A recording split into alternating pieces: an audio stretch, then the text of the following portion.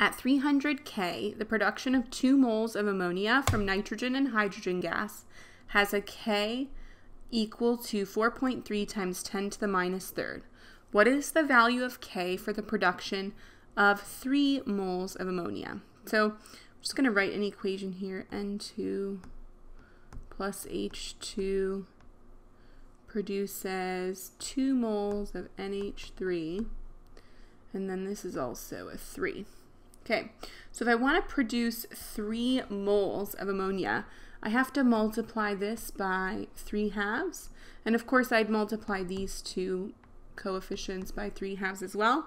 But anyway, that's how I get to my 3 moles produced of ammonia. So to find my new K, I have to take my original K, so K for 2 moles, and uh, raise it to whatever this factor is that I changed it by, so to the 3 halves power. So that would be 4.3 times 10 to the minus third to the 3 halves power.